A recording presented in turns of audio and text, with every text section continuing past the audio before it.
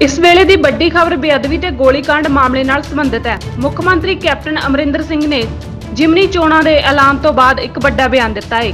Captain ਨੇ ਇੱਕ ਅੰਗਰੇਜ਼ੀ ਦੇ ਅਖਬਾਰ 'ਚ ਇੰਟਰਵਿਊ ਦਿੰਦੇ ਸਮੇਂ ਦੱਸਿਆ ਕਿ ਬੇਅਦਬੀ ਮਾਮਲੇ 'ਚ ਸਾਬਕਾ ਮੁੱਖ ਮੰਤਰੀ ਪ੍ਰਕਾਸ਼ ਸਿੰਘ ਬਾਦਲ ਦਾ ਕੋਈ ਹੱਥ ਨਹੀਂ ਅਤੇ ਕਿਹਾ ਕਿ ਬਹਿਬਲ ਕਲਾਂ ਤੇ ਕੋਟਕਪੂਰਾ ਗੋਲੀकांड 'ਚ ਉਸ ਸਮੇਂ ਦੇ ਮੁੱਖ ਮੰਤਰੀ ਪ੍ਰਕਾਸ਼ ਸਿੰਘ ਬਾਦਲ ਅਤੇ ਸਾਬਕਾ ਗ੍ਰਹਿ ਮੰਤਰੀ ਸੁਖਵੀਰ ਸਿੰਘ ਬਾਦਲ ਦੀ ਸਮੂਲੀਅਤ ਸੀ।